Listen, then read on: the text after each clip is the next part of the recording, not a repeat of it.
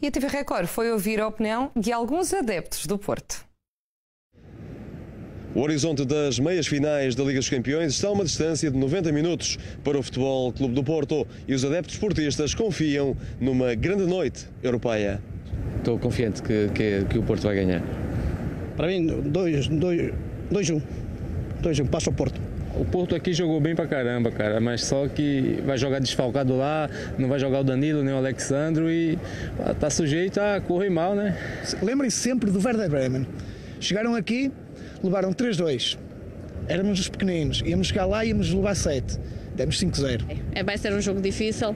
Pronto, acho que o Porto vem de lá com uma vitória. Eu acho que tem uma vantagem, mas vai ser um jogo tremendamente difícil. Espero que passe o Porto.